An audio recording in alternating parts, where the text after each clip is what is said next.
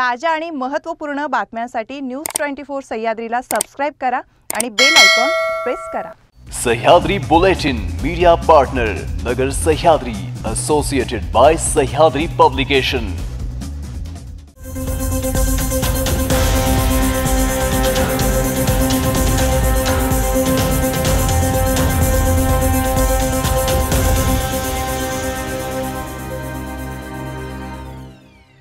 नमस्कार मी प्रियंका आणि आपण पाहताय न्यूज ट्वेंटी फोर सह्याद्री. पाहुयात राज्यातील महत्त्वपूर्ण बातम्यांचा आढावा सह्याद्री बुलेटिनमध्ये.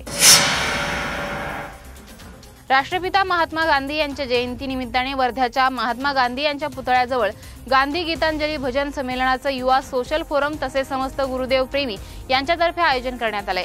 कोरोनाच्या पार्श्वभूमीवर अगदी साधेपणाने या ठिकाणी कार्यक्रम होत आहे. संत तुकडोजी महाराज यांच्या भजनातून महात्मा गांधी यांना आदरांजली वाहण्यात आली आहे. राज्यातील विरोधी पक्षांच्या नेत्याने पुन्हा एकदा आपणच सत्तेत येणार असल्याचं सांगण्यास सुरुवात केली आहे. त्यामुळे सत्ताधारी पक्षांच्या नेत्यांकडूनही त्यावर प्रतिक्रिया येऊ लागल्या आहेत. राष्ट्रवादीचे खासदार सुनील तटकरे यांनीही यावर प्रतिक्रिया व्यक्त करत विरोधकांचं म्हणणं फेटाळून लावलंय. राज्यात मध्यावधी निवडणुका होणार हे केवळ राजकीय भाष्य आहे यामध्ये फारसं काही नाही असं सुनील तटकरे यांनी म्हटलं आहे.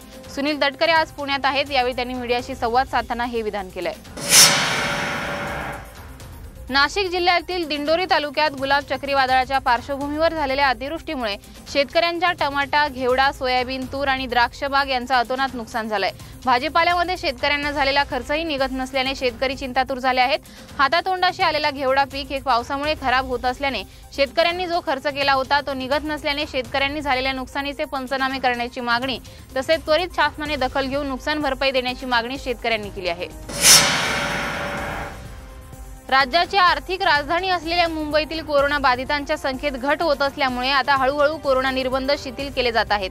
दरम्यान मुंबई महापालिका क्षेत्रातील धार्मिक स्थळं एकूण मर्यादेच्या पन्नास टक्के क्षमतेने उघडण्याची परवानगी देण्यात आली आहे. धार्मिक स्थळं राज्य शासनाने जारी केलेल्या कोरोना नियमांचं पालन करून उघडण्यास परवानगी सात ऑक्टोबरपासून देण्यात आली आहे.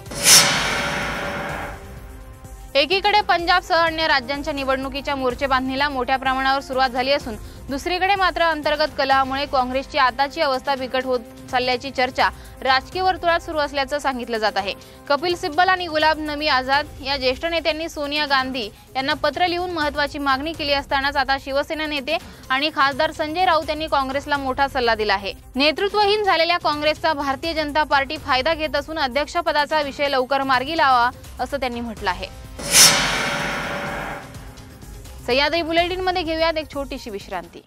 रोखोक पत्रकारिता निर्भीड बाणा आणि कणखर भूमिका महाराष्ट्राचा सखा सत्याचा पाठीराखा शब्दांचं सामर्थ्य विश्वसनीयतेची उंची न्यूज ट्वेंटी फोर सह्याद्री. विश्रांतीनंतर आपलं पुन्हा एकदा स्वागत. पाहूयात पुढील बातम्या. नाशिक जिल्ह्यात मंगळवारी पाच ऑक्टोबरला गोळीबाराची प्रात्यक्षिकं होणार आहेत. त्यामुळे इगतपुरी आणि नाशिक तालुक्यातील एक सेक्टर या ठिकाणी जाण्यास मनाई करण्यात आली आहे. जनरल स्टाफ ऑफिसर ट्रेनिंग मुख्यालय तोफखाना यांच्या मार्फत देवळाली कॅम्प आर्टिलरी स्कूलतर्फे इगतपुरी आणि नाशिक तालुक्यातील एक सेक्टर सकाळी सहा ते चार या वेळेत गोळीबाराची प्रात्यक्षिकं केली जाणार आहेत. पुणे शहरात गेल्या काही दिवसांपासून अत्याचाराच्या अनेक घटना समोर येत असताना आज पोलीस उपनिरीक्षकांनी तरुणीवर अत्याचार केल्याचा धक्कादायक प्रकार समोर आला आहे. त्यामुळे ज्याच्याकडून रक्षणाची अपेक्षा आहे तोच असं करत असेल तर पुणेकरांनी कुणाकडे जायचा असा प्रश्न आता उपस्थित झाला आहे. युवतीला विवाहाचा आमिष दाखवून तिच्यावर बलात्कार केल्याप्रकरणी वाहतूक शाखेतील पोलीस उपनिरीक्षकाच्या विरोधात गुन्हा दाखल करण्यात आला आहे. या प्रकरणी पोलीस उपनिरीक्षक प्रवीण जर्दे यांच्या विरोधात बलात्काराचा गुन्हा दाखल करण्यात आला आहे.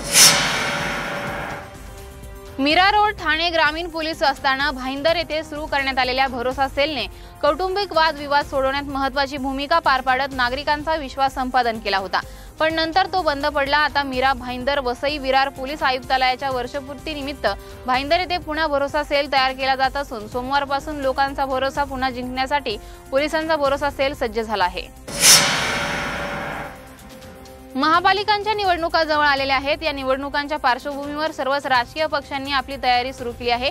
याच दरम्यान राजकीय नेत्यांकडून विविध मुद्द्यांवरून आरोप प्रत्यारोप होताना दिसत आहेत. तसेच राजकीय नेत्यांचे दौरे सुद्धा सुरू झाले आहेत. डोंबिवली दौऱ्यावर असलेले मनसेचे युवा नेते अमित ठाकरे यांनी खड्ड्यांच्या मुद्द्यावरून थेट शिवसेनेवर निशाणा साधलाय.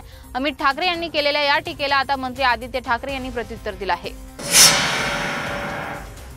औरंगाबाद शहरातील विविध भागात राहणाऱ्या नागरिकांना जिओ कंपनीचा अधिकारी असल्याचं सांगून फसवणाऱ्या ठगाला औरंगाबादमधील सायबर पोलिसांनी अटक केली आहे. जिओ कंपनीचा विशेष प्लॅन तुम्हाला द्यायचा असल्याचं सांगत त्यांनी नागरिकांची फसवणूक केल्याचं उघड झालंय.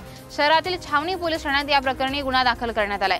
पोलिसांनी या आरोपीला ताब्यात घेतलं असून अशी खोटी बतावणी करून त्यांनी अजून किती जणांना गंडा घातला आहे याविषयी तपास केला जात आहे. या बातमीसह सह्याद्री बुलेटिनमध्ये आता वेळ झाली आहे इथेच थांबण्याची. मात्र पाहत राहा न्यूज ट्वेंटी फोर सह्याद्री.